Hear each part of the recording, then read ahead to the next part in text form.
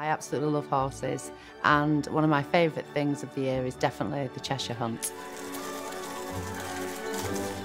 Oh, they all look lovely.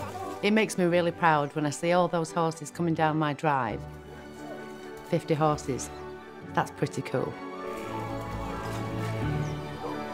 Anything else? All right. They come to Warford Hall to start off the hunt, and we give them port and some little snacks, and it's really nice. I'm very against killing animals for, for a sport, so this is a, called a drag hunt, not chasing foxes. They have a scent on a rag, and then the hounds follow the scent. The hound's pooing on my grass. It's actually doing a big poo on me. Ashley.